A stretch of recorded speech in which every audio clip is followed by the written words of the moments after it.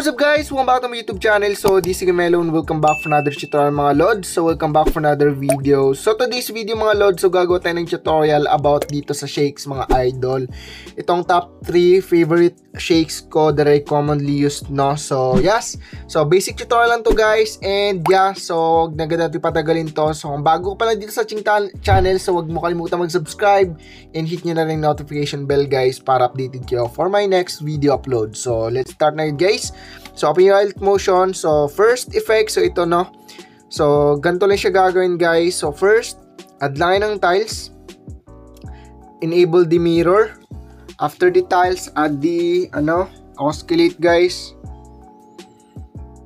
So, oscillate naman, first, no, sa angle is 45 degrees. Frequency naman, 3.19 Hertz. Magnitude is 500 first keyframe.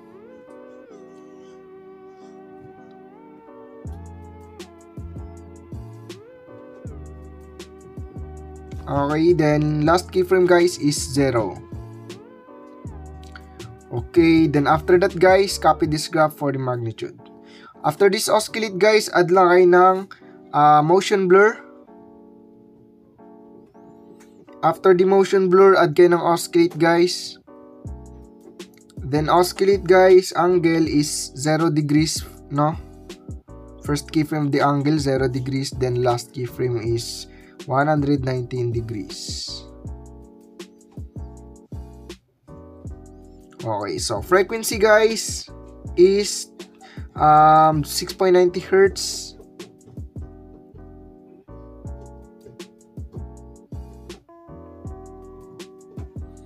And the next guys, magnitude, first keyframe the magnitude is 500.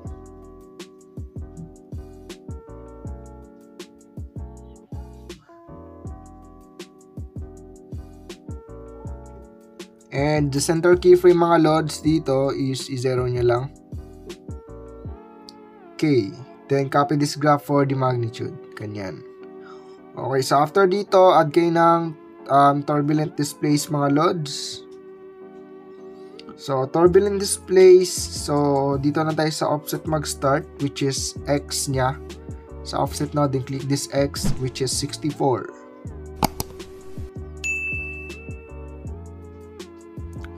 Next is the strength. So, first keyframe of the strength, guys, is 0.149.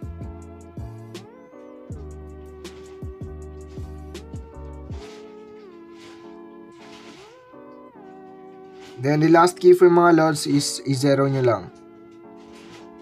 Yan. And copy natin tong graph na to for the strength. After the strength, guys, ganyan yung graph natin, no? Copy nyo lang. Then, evolution guys is i-ano lang, 4.64.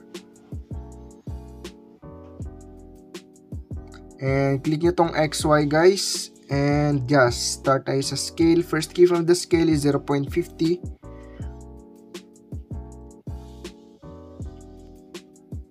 Scale 0.50. And, last keyframe is 0 nyo lang. I mean, i-1 pala guys, 1, okay? Then, copy natin ulit tong graph na to for the scale. Okay, then, scroll down, octaves, i-1 nyo lang. Okay, ganyan yung shakes nyo guys. Ayan. So, ganyan lang. So, next, add ka lang kayo ng next effect na which is exposure gamma.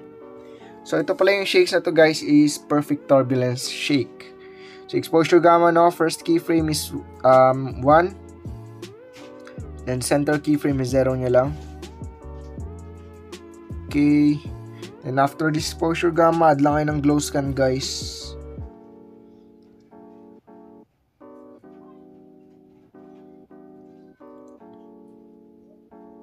Okay, glow scan. First keyframe of the threshold naman para sa glow scan is iwan nyo lang.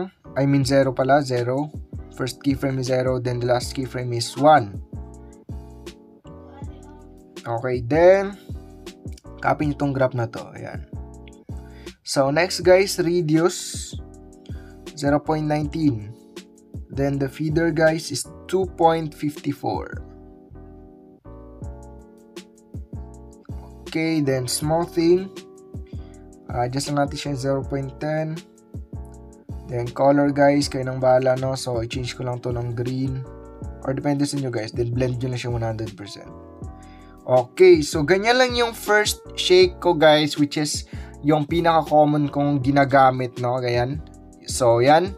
So, next effect na agad tayo guys, or next shake. Okay, so second shake na agad. So, yes. Let's go.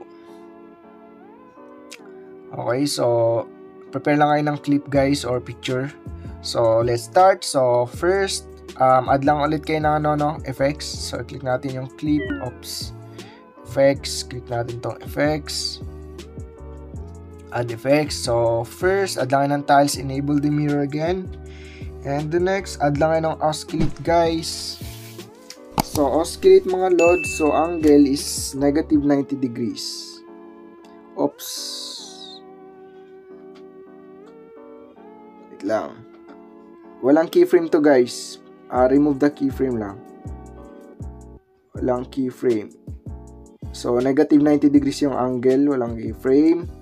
And the next frequency, 0.30 Hz guys.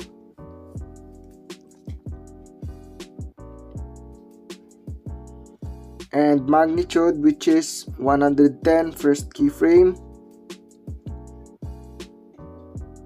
and the last keyframe which is 0 guys okay then the next after dito sa oscillate na to add kayo ng motion blur after the motion blur add lang exposure gamma so first keyframe exposure is 0.1 then the last keyframe is 0.0. I-copy lang natin tong graph na to. Yan. So, next, add lang ng squeeze, guys. So, add lang ng squeeze. Okay, squeeze, then, um, first key from the squeeze, so, adjust muna to into 0.03, guys. Then, put a keyframe both sides, dito sa first and sa may last.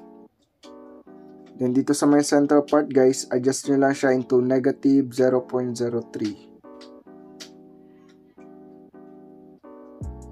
Ayan. Then, copy nyo tong graph na to. Dito na part ganyan. Then, dito na part same pa rin. Ayan. So, ganyan yung second shake natin, guys, no? So, the last shake, mga idol. So, let's um, let's go na agad for the next shake. So, yeah, so ito. So, let's go. So, ito, prepare lang din kayo ng clip. Then, let's start. So, first, add lang kayo ulit ng ano guys, tiles. Then, enable the mirror. After the tiles, add lang kayo exposure gamma. First keyframe the exposure gamma guys is first um, 1. And the last keyframe is 0 nyo lang.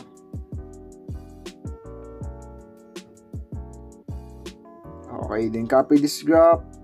After that, so add lang ng oscillate guys. Then angle is um, positive 87, first keyframe. And the last keyframe is adjust nyo siya into negative 87 naman.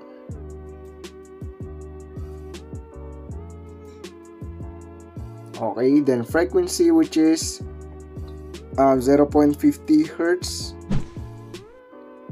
And the magnitude guys is 90 yung first keyframe. First puti keyframe, then 90. And the last keyframe is puti keyframe, then i-zero nyo lang, then copy this graph. Ganyan. So next guys, last effect, add lang ng last effect na which is swing. And swing guys, frequency niya which is 1.07.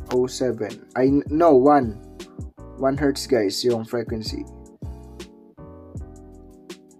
Okay, then next, the angle 1. First key from the angle 1 is negative 3.0.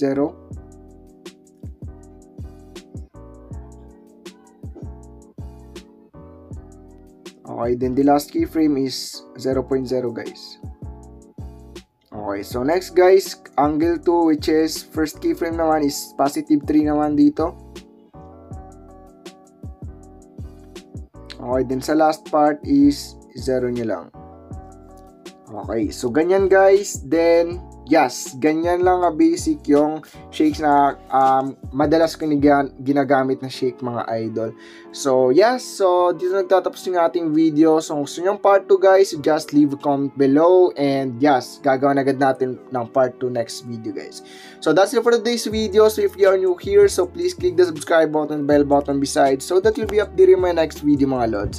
So, thank you so much for watching this video and yeah, see you in my next one. Bye!